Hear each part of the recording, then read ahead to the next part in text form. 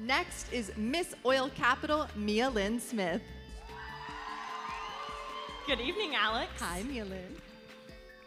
You're motivated to help others move past the trauma of abuse by sharing your message of resilience. What are the best practice strategies that trauma informed educators can use with all students?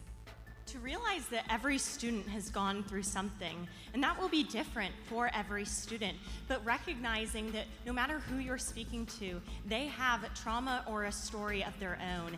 And when you can connect with them on that level and make sure that they know that they are cared about and that resilience happens one step at a time, you can teach them that they can overcome the bad things that happen in their lives. I'm sure all of you have trauma, but you can all be resilient. Thank you.